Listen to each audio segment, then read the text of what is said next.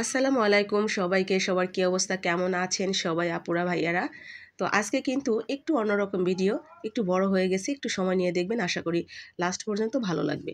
তো আমার বাসাতে একটা মিস্টার কাঁঠাল গাছ ছিলেন, তিনি ঝড়ে পড়ে একেবারে ভেঙে গেছেন পুরো মাথাটাই। তো আমার মা বাসায় এসে দেখে তো হতাশ, কারণ আমার বাসার প্রায় গাছটাই আমার মায়ের হাতে লাগানো। তো সেই ক্ষেত্রে আমার মায়ের একটু কষ্ট লেগেছে। আর এই যে সেই মিস্টার কাঁঠাল গাছ, মাথার পুরো অংশটাই পড়ে গেছে। আর সেই কাঁঠাল গাছ থেকে এতগুলো লাকড়ি হয়েছে পাতা, অনেক কিছু। তো অনেক দিন রান্না করা যাবে এই লাকড়িগুলি দিয়ে। তো আমার মা এসে বলতেছে যে, সিলিন্ডারই তো রান্না করো। তো বেশ কিছুদিন যদি বাহিরে রান্না করো, সেই ক্ষেত্রে সিলিন্ডারটা একটু কম ফুরাবে, একটু সাশ্রয় হবে। তো মুরব্বীরা আসলে যেরকম চিন্তাভাবনা করেন, সেরকমই আমার মাও ব্যতিক্রম না। তো আমার মা একেবারে রেডিমেড সব কিছু যে এগুলি আপনার পাশের ক্ষেত থেকে বিন্না এগুলিকে বলে কেটে এনে মা একেবারে বেড়া টেরা সহ চুলা টুলা সব লেপে একেবারে রেডিমেড একটা চুলার পার আমার বানিয়ে দিছে। তো তারপরে আজকে আমি এখন যেই রান্নাটা ওই চুলাতে করব, এই রান্নাটা কিন্তু আমার নিজস্ব কোনো রেসিপি না বা আমি আগে পরে কখনো খাইও নাই। এটা আমি পেজে, একটা আপুর পেজে দেখেছি, সম্ভবত তুলি আপু ওনার নাম। তো তুলিয়াপুর পেজ থেকে দেখে আমি রান্নাটা আমার খুব ভালো লেগেছে ওনার রান্নাটা। তো আজকে আমি ফার্স্ট টাইম ট্রাই করব। এটা আপনার মুরগির মাংসের সাথে, ফার্মের মুরগির মাংসের সাথে ফুলকপি দিয়ে। তো কে কে আগে খেয়েছেন, কার কার অভিজ্ঞতা আছে অবশ্যই বলবেন। আর যদি আমার মতো একদমই নতুন হয়ে থাকেন, তাহলে অবশ্যই পুরো ভিডিওটা দেখে রান্না করার সাহসটা অবশ্যই পাবেন। কারণ আমি একেবারে লাস্ট পর্যন্ত দেখাবো যে রান্না করা খাওয়া। তাহলে আপনি বুঝতে পারবেন যে এটা আসলে খেতে ভালো লাগে না, খারাপ লাগে। আমি একেবারে রিয়াল যেটা সেটাই বলার চেষ্টা করব। তো আমি কিন্তু রান্নাটা শুরু করে দিয়েছি সেই নতুন চুলাতে। আমার, আমি, আমার বাসার সবাই, আমি ভীষণ এক্সাইটেড যে নতুন একটা চুলা, মা একেবারে তড়িঘড়ি করে দুই দিনের ভিতরে সব কিছু রেডি করে দিয়েছে। একেবারে সব বেড়া টেরা সহ তো অনেক দিন পর আপনার চুলাতে রান্না করতে গিয়ে আমার একটু আতা পাতা লাগছিল, একেবারে কী থেকে কি করব বুঝে উঠতে পারছিলাম না। সবাই আমাকে হেল্প করতেছিল, আপনাদের ভাইয়া জাল দিচ্ছে, বাচ্চাগুলো এটা সেটা এনে দিচ্ছিল। তো গ্যাসে তো হয় কি আপনার চুলাটা একটু কমানো যায়, বাড়ানো যায়, এক্ষেত্রে না কমাতে পারছি, না কিছু করতে পারছি, তো আমার একেবারে কেমন যেন লাগছিল একেবারে। তো দু একদিন গেলে হয়তো চুলাটা আমার কথা শুনবে, আজকে একদমই কথা শুনছিল না। তো এই যে এইভাবে আমি হালকা করে একটু ভেজে নিলাম ফুলকপিগুলি। তারপরে ওই যে মাংসগুলি যেগুলি, সেগুলিও এখানে একটু নুন হলুদ মাখিয়ে ভেজে নিব। তো আপনারা আপনাদের রুচি অনুযায়ী করবেন। মেন হলো ফুলকপি দিয়ে মাংসটা আসলে কেমন লাগে খেতে সেটাই দেখার।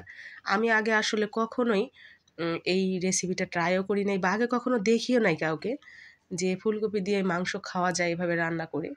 তো আপুটাকে দেখে আমার খুবই ভালো লাগল। আর উনি খুব মজা নিয়ে খাচ্ছিল, আমার খুব লোভ হচ্ছিল। তো করেই ফেললাম। তো যাই হোক, এই যে আমি মাংসগুলিও একটু একটু করে ভেজে নিচ্ছিলাম, আর এই যে দেখেন কড়াইটা একদম মানে এত জাল জ্বলছিল, পুড়ে যাওয়ার মতো অবস্থা। তো আমি আর তেল দেওয়ারও সময় পাই নাই, প্লাস তেল দিয়ে যে পেঁয়াজটা একটু ভাজা ভাজা করব ওই রকমই সময় পাই না আমি ওইভাবেই দিয়ে দিচ্ছি। তো এখন এরপরে আমি আবার একটু তেল অ্যাড করছি এখানে। তো যাই হোক, এইভাবেই আমি যেভাবেই হোক রান্নাটা করছি। একেবারে আমার কেমন যেন আজকে নতুন তো। তো অনেক বছর পরে আপনার রান্না করা হয়েছে। আসলে আমাদের বাড়িতেও এই লাকড়ির চুলাই, কিন্তু বাড়িতে গেলেও তো রান্না করা হয় না। আমার ভাবি রান্না করে, মা রান্না করে। আবার আমার শ্বশুর বাড়িতে গেলেও সবসময় আমার ননাসি রান্না করে। আমি জাস্ট হেল্পিং হ্যান্ডের কাজটা করি আর কি।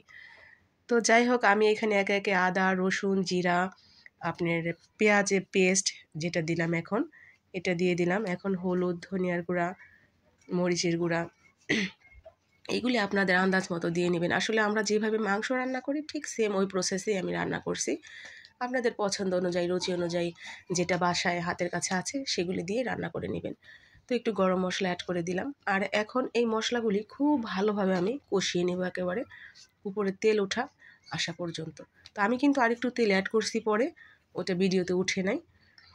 তো খুবই খুবই ভালো লাগছিল আজকে লাকড়ির চুলায় রান্না করে। অনেক বছর পর রান্না করছিলাম। দারুণ লাগছিল আমার কাছে। তো এখন থেকে মাঝে মাঝে আমি লাকড়ির চুলায় রান্না করব, অবশ্যই আপনাদের সাথে শেয়ার করব। তো আমি সবগুলি এখানে দিয়ে দিলাম, মাংস প্লাস ফুলকপিগুলি।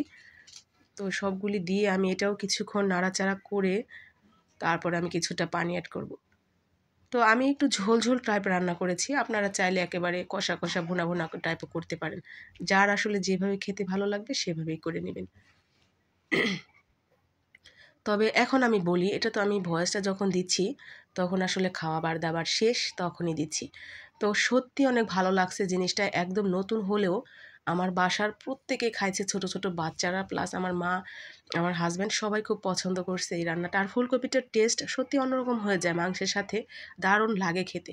তো যারা এখনও এই রেসিপিটি করে খান নাই বা সাহস করেন নাই যে আসলে কেমন লাগবে, না লাগবে কারণ আমাদের বাংলাদেশে অনেক জেলাতেই মাংসের সাথে শুধুমাত্র আলু অথবা শুধু মাংস ভুনা খেতেই অভ্যস্ত।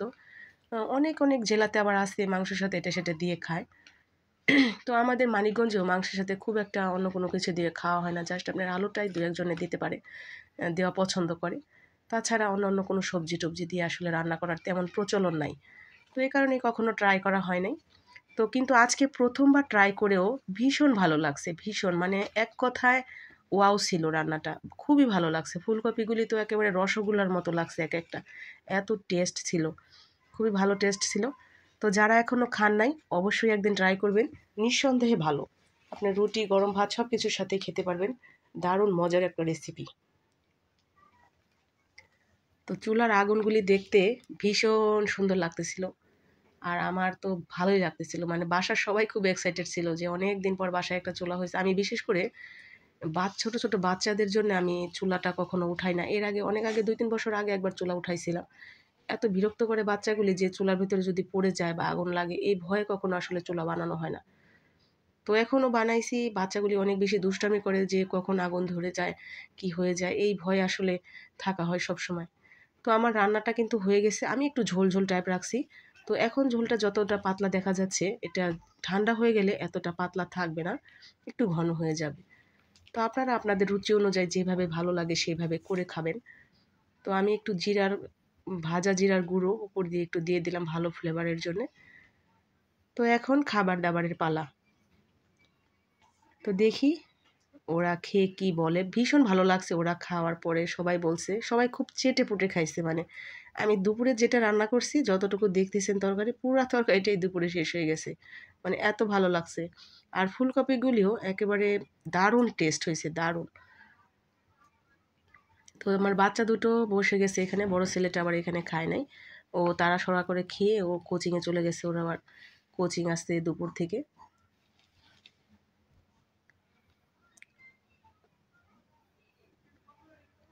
তো ওরা তিনজনই খেয়ে নিছে, বাপ বেটা, মেয়ে তিনজনে খেতে বসে গেছে।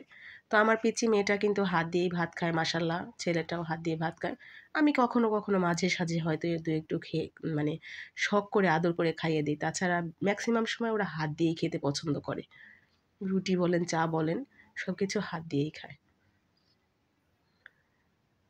তো মেয়েটা একদম গরম লাগতেছিল মাংসটা। তো বারবারই বলতেছিল, তো ছেলেটা আবার মায়া করে ও ফু দিয়ে দিচ্ছিল, আবার মেয়েকে খাইয়ে দিচ্ছিল। ওদের আবার দুই ভাই বোনের খুব মিল।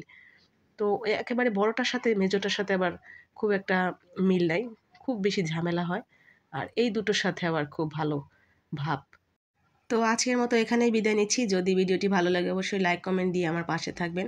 আর অবশ্যই এই তরকারিটা একদিন রান্না করে খাবেন, যদি আগে পরে কখনো না খেয়ে থাকেন। আসসালামু আলাইকুম।